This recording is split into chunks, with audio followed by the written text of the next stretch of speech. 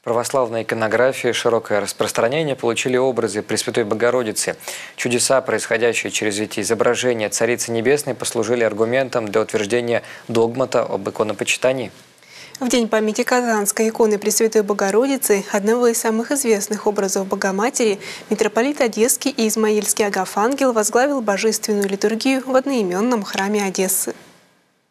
Икона Пресвятой Богородицы Казанская известна каждому православному христианину. Именно этот образ находится в домах даже у нецерковных людей. Пожалуй, в настоящее время это самая распространенная икона. В Одесской епархии есть храм, посвященный Казанской иконе. 4 ноября он празднует уже целых 170 лет с момента основания. Высокопреосвященнейший архипастырь митрополит Агафангел посетил в этот день один из старейших приходов города, где возглавил праздничную божественную литургию.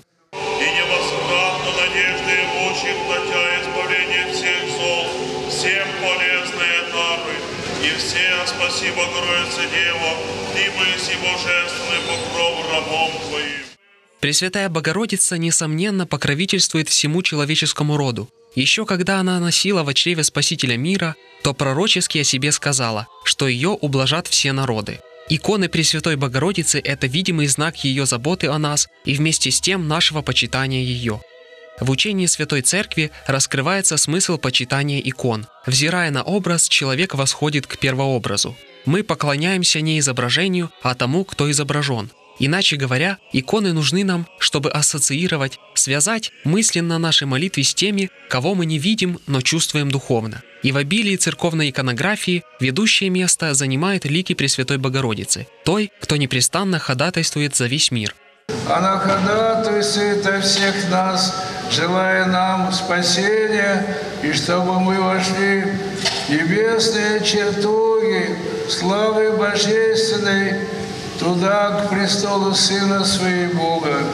И она хранит города и села, она хранит Русь Святую, которая стала Домом Пречистой.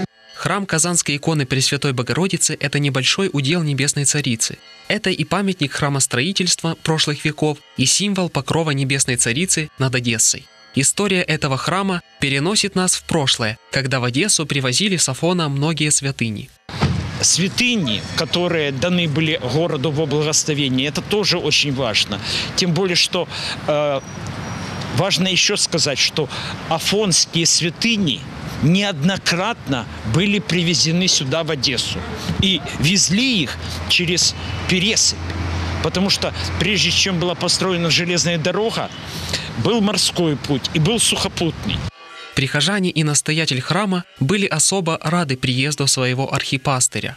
Хотелось бы сказать, выразить слова глубокой благодарности нашему владыке, который всегда по возможности в этот день приезжает в наш храм для того, чтобы возглавить божественную литургию, что придает богослужению особую торжественность и особую молитвенность. По завершении божественной литургии был совершен крестный ход, во время которого владыка осветил крест на могиле покойного настоятеля храма протеерея Григория Каюна.